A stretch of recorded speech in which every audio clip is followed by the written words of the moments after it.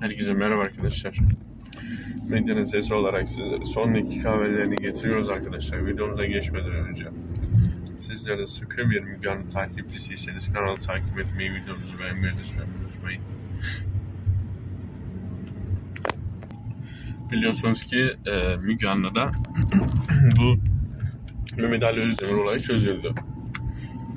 Çözüldü derken arkadaşlar yani Mehmet Ali Özdemir ne yazık ki bulundu fakat cansız bir şekilde bulundu. Cenaze işlemlerinden sonra Meryem'in arkadaşlar şehir dışına daha sonrasından da ülke dışına çıkma planlarının olduğu söyleniyordu.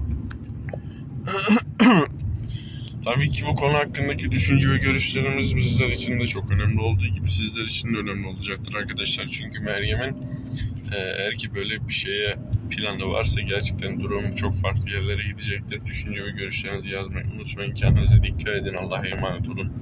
Bir sonraki videomuzda görüşmek dileğiyle. Kalın sağlıcakla arkadaşlar.